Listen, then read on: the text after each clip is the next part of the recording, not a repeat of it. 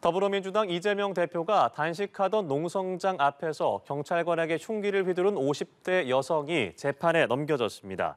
서울 남부지검은 어제 김 씨를 특수공무집행 방해 치상 혐의로 구속 기소했다고 밝혔습니다. 김 씨는 지난달 14일 이 대표의 국회 본청 앞 단식 농성장 앞에서 소란을 피우다가 이를 저지하는 경찰관 3명에게 흉기를 휘둘러 전치 1주에서 3주의 상해를 입힌 혐의를 받습니다.